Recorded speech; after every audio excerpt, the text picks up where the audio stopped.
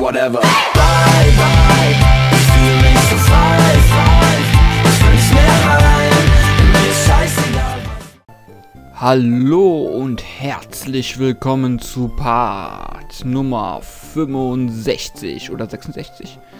Ich glaube 65. Ihr seht es ja unten im Titel. Wir haben im letzten Part die Meisterliga geschafft und sind an, ans Ende des Let's Plays gekommen. Doch ich habe mir gedacht, was passiert eigentlich nach? Weil eigentlich müsste ja gleich noch was kommen. Hoch, das ist ja mein Vater. Was geht denn jetzt ab? Hm. Hey, das ist ja Speed. Du hast uns ja schon lange nicht mehr besucht. Du siehst irgendwie stärker aus. Das ist zumindest mein Eindruck. Aber dein alter Herr gibt doch nicht auf. Oh, ich habe hier etwas für dich. Das soll ich dir von Mr. Bragg geben. Bootsticket erhalten. Speed packt Bootsticket in die Basis-Item-Tasche. Hm? Ein Ticket für eine Fähre? Ich weiß, dass es in Graf Feedboard City und Segrasup City Anlegestellen für Fähren gibt. Ich muss jetzt wieder in die Arena von Blütenburg City. Ich danke dir, dass du dich während meiner Abwesenheit um das Haus gekümmerst. Das ist irgendwie typisch dein Vater. Da kommt er das erste Mal nach ewigen Zeiten nach Hause und spricht nur über Pokémon. Er sollte sich lieber ausruhen und etwas hierbleiben.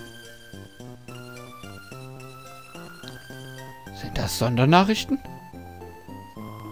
Hier sind die Sondernachrichten. Wir haben die Meldung erhalten, dass in der Höhenregion ein farbiges Pokémon gesichtet wurde. Die Identität des Pokémon konnte bisher nicht festgestellt werden.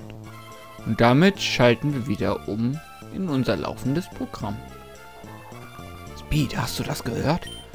Das hat der Sprecher gesagt. Was hat der Sprecher gesagt? Welche Farbe hat das Pokémon? Ah, jetzt können wir uns entscheiden. Rot für Latios oder Latias und Blau für das andere. Äh, wir nehmen Rot. Also ist das nicht unglaublich? Es gibt tatsächlich noch unbekannte Pokémon. Ja, finde ich auch unglaublich.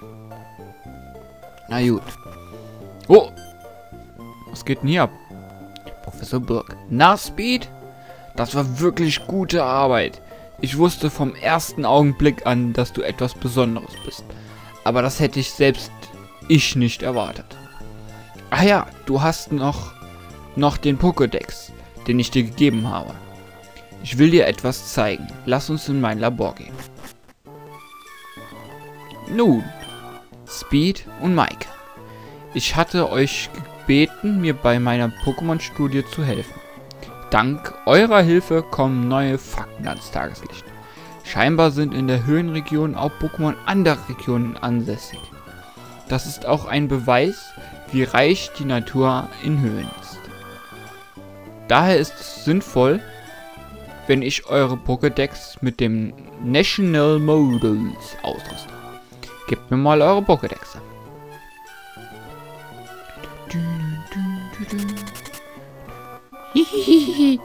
Ich finde das total cool, dass mein Pokédex auch verbessert wird. Dank dir, Speed, denn du hast so viele Pokémon gefangen. Hab ich? Nö. Vielleicht 20, wenn es hochkommt. Okay, fertig.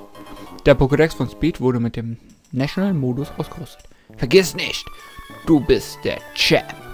Aber deine Pokémon-Reise ist noch lange nicht zu Ende. Die Straße namens Pokémon findet niemals ein Ende.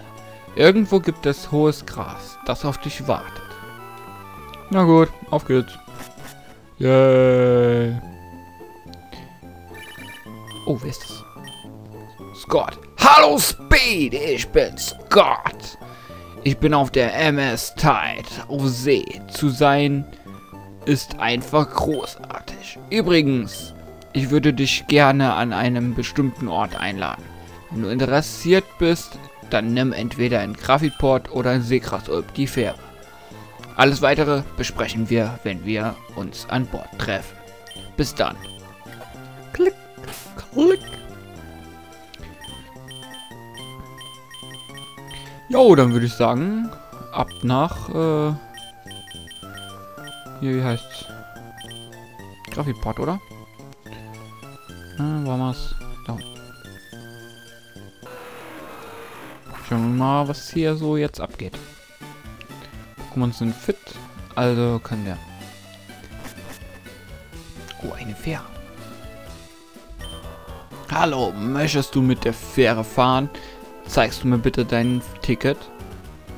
Speed zückt das Ticket. Perfekt. Damit kannst du an Bord. Wo soll die Reise hingehen? Da ist der krasse Ulp City. Na, Seekras Ulp City? Jo. Bitte komm an Bord. Wir legen bald ab. Voll das Minischiff. Irgendwie. Im Vergleich. Hallo Speed, Speed! Irgendwas Großes wird passieren. Daher habe ich es eilig. Aber ich habe mich gefreut, dich zu treffen. Herzlichen Glückwunsch, Champ der Pokémon-Liga. Jemand wie dich würde ich gern einladen. Es gibt da einen besonderen Ort. Und zwar die Kampfzone. Was das für ein Ort ist, schau ihn dir einfach an. Ich habe mich bereits mit dem Kapitän darüber unterhalten. Nächstes Mal, wenn du die Fähre nimmst, kannst du zur Kampfzone fahren. Okay, Speed. Ich erwarte dich also in der Kampfzone. Diese Fähre ist so konstruiert, dass sie auch durch starke Strömungen fahren kann. Wir hoffen, du genießt die Reise mit uns. Schau dich ruhig ein wenig auf dem Schiff um. Hier können wir ein bisschen trainieren. Schmeißen wir mal Supex in den Kampf. Und gucken wir was. Ja, okay. Oh, ein Doppelkampf. Das nehme ich doch gerne mit. Ähm. Hm. Wie braver.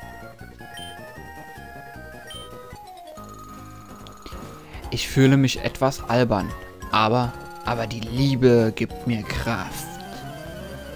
Na, dann bin ich mal gespannt. Was hast du zu zeigen? Oh, oh, doch, es ist ein wirklich ein Doppelkampf. Liebeskuss und der andere. Ne, auch Liebeskuss. Beide Level 45. Boah, das ist, äh, hab ich. So. Erdbeben müsste super sein. Und Feuerodem. Anziehung, es war so klar. Es war Angriffsding, ne, oder? Ich kann nicht angreifen. Hat sich verliebt, genau.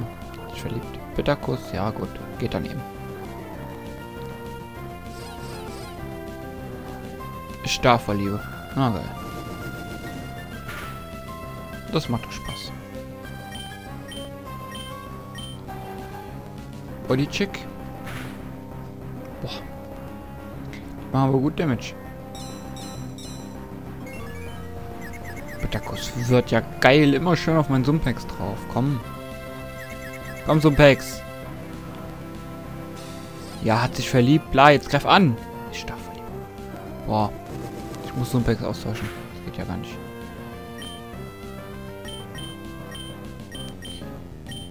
Ich muss weiter Erdbeben machen. Feuer, oder?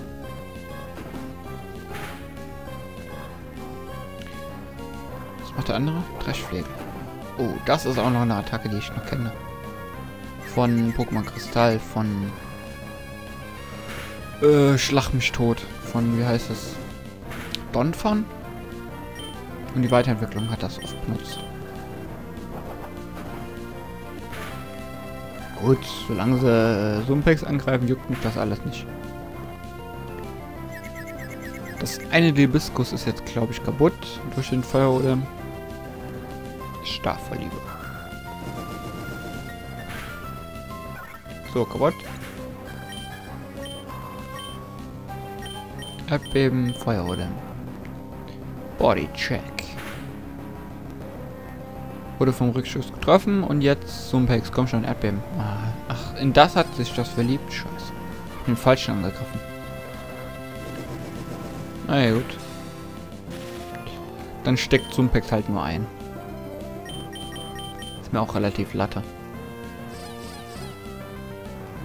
Yes, er setzt... Oh, und... Yes, er setzt Erdbeben ein. Bravo wird nicht getroffen durch Schwebe. Wunderbar. So gehört sich das. Aber... Wir gewinnen 2880 Dollar. Warte, hat irgendjemand von den beiden Bericht, was hat der denn für ein Item dabei? Pudersand. Ah, das sind Bodenattacken, ne? Item nehmen, brauchen wir nicht. Und der hat äh, hier dieses Wasserzeug dabei, ne? Was haben wir denn hier?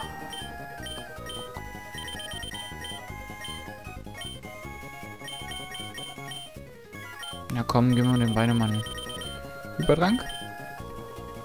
Dann sind die wieder fit. Weil die Verschwendung eigentlich von Hypertränken. Bei so wenig KP-Verlust Überdrang zu geben. Dann nehmen wir mal Rayquaza das Item ab. Item geben und geben das mal Brava.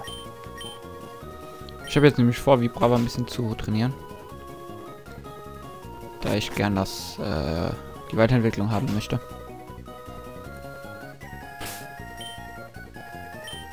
Tausch. Sumplex. Auf geht's, komm her. Ah, du kommst gerade rechtzeitig. Ich langweile mich schrecklich. Du musst mich jetzt unterhalten. Bin ich mal gespannt, was du drauf hast. Komm schon. Zeig mir, was du drauf hast. Azumere. Das ist mies. Das ist mies, das ist mies. Feuerodem. Ich bin nämlich, glaube ich, Boden-Pokémon, oder? Eigentlich ist er noch, immer noch Boden-Pokémon.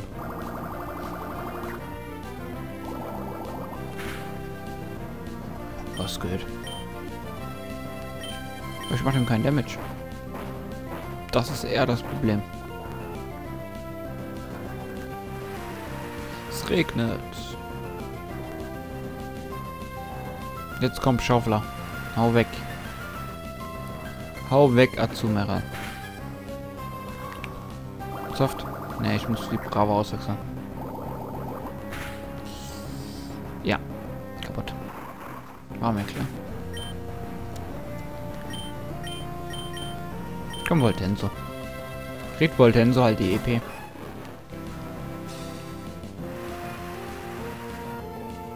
Schockwelle und kaputt.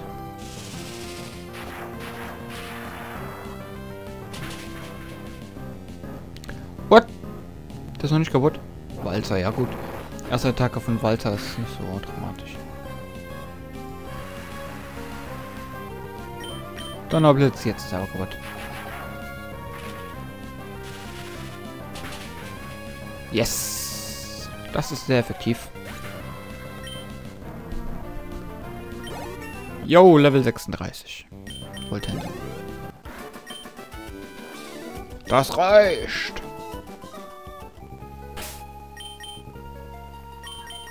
Ich habe ja noch genug Beleber. Daher ist das alles nicht so dramatisch. Bedenke nicht mehr ganz so viel. Aber... Who cares? Wen interessiert's? Was haben wir hier? Einen haben wir noch einen Typen. Komm mal ran jetzt hier. Sind deine Freunde stark? Finde es heraus. Indem du gegen mich verlierst. Voltenso. Wolle 44. Alter. Alter, was da? Schaufler. What? Hat er mich einfach gebissen. Unglaublich. Das ist sehr effektiv. Ah, jetzt wechselt er mich aus, der Drecksack. Uh, genau den falschen eingewechselt. Psychokinese. Und kaputt. Ja, hast den falschen eingewechselt. Simsala ist das glaube ich, mächtig egal. Komm, wie braver. Theoretisch dürfte er mich mit Knirscher nicht kaputt machen. Weil er mir jetzt 37 Leben abgezogen hat. KP abgezogen hat. Eigentlich dürfte er mich nicht mit Knirscher kaputt machen. Also kann ich schon mal schaffen. Jetzt trifft er mich sowieso nicht. Ja, mal Schaubler. Ah, jetzt trifft er mich mit Brüller nicht. Auch gut. Funkensprung trifft auch nicht. Wunderbar. Warm, Junge. Noch einmal Schaufel und dann ist er weg. Ja, paralysiert hin oder her. Pappelabab. Braucht keinen Arsch. Ist. Jo. Sauber. Jetzt nochmal Schaufler, komm. Grippt dich ein. Setzt Funkensprung ein. Geht daneben. Grippt dich aus. Na, ist paralysiert, geil. Pokémon. Ah, würde ich gerne mal wechseln. Gegen.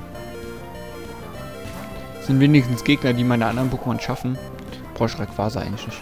Brüller, ja, klasse. Ach, Simsala, dein alter Freund wieder. Psychogenese und tschüss.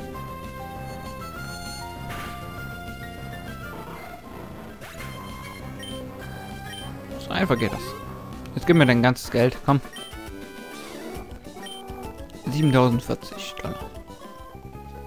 Können wir noch ein bisschen sparen, dann so, Hypertrank. Da haben wir ein bisschen was auf Reserve für... Was weiß ich. Wir haben doch hier noch Parailer, oder? Nö, dann krass den Hypereiler hier. Bitteschön. Auf geht's weiter. Kämpfst du auch? Oder eher nicht so? Schau dir ruhig die anderen Kabinen an. Trainer langweilen sich auf der Überfahrt und werden sich gerne mit dir gerne kämpfen. Ah! Mr. Brack, willkommen an Bord Speed. Ich bin jetzt der Captain der MS Tide. Du kannst mich ab sofort Captain Brack nennen. Ich war zwar schon in Rente gegangen, aber als ich dieses majestätische Schiff gesehen habe, lasse ich mich so sagen. Lass. Lass es mich so sagen. Es weckte die schlafende Seele des Seemanns in mir. Cool. Captain Brick. Na du? Ich segle oft nach Seekrasul City. Ich liebe es, an Wettbewerben teilzunehmen. Ja, jetzt gebe ich dir auch mal einen Wettbewerb. Siege mich oder geh sterben. Oha, du heilige Mutter Gottes. Ja, Level 22, ja. Hm, ich bin Level 22. Ich kann gar nichts. Zack, weg. So, der nächste bitte. Ein Echo. Ich will nicht schützen. Warum auch? Jetzt kommt er direkt mit seinem stärksten Wetten. Ja, Level 36. Oh, wunderbar. Paralysiert. Traum. Du machst jetzt nichts, oder? Vitalglocke. Ein Glückchen läutet. LOL. Sündelbeere füllt KP auf. Aber Statusprobleme gehen weg, ne? Bei, bei dem Glückchen. Cool. Oh, Level 37. Wunderbar. Weiter geht's. Nein, nicht wechseln. Die Brava muss trainiert werden. Dammit, Level 40. Feuerode. Und paralysiert. Was macht er jetzt? Paralysiert macht ja nichts. Da macht er ja nichts. Macht er Sindelbeere. Hat er eben seinen Pokémon Sindelbeere gegeben oder was? Knirscher weg.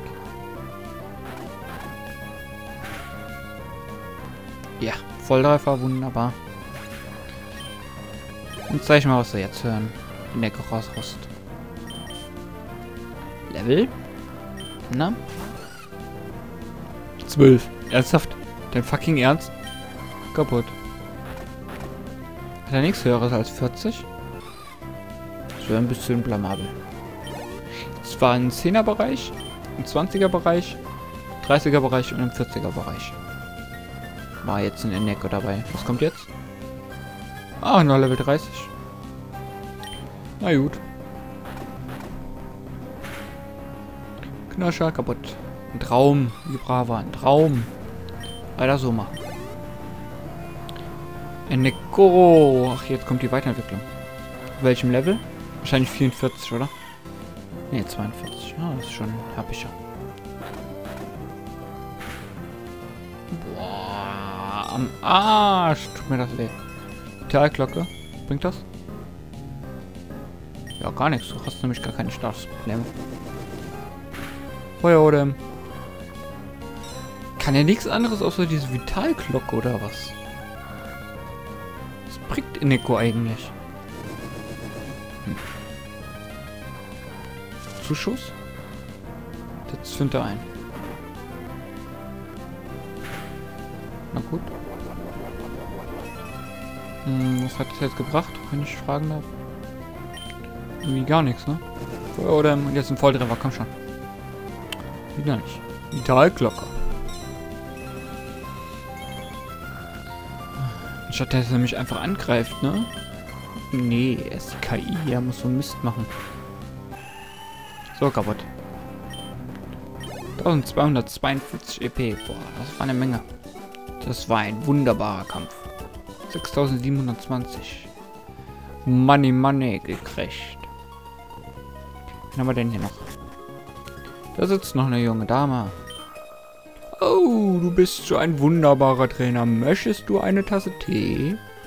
Ja, aber erst in der nächsten Folge von Pokémon Smaragd. Bis dahin, macht's gut. Ciao.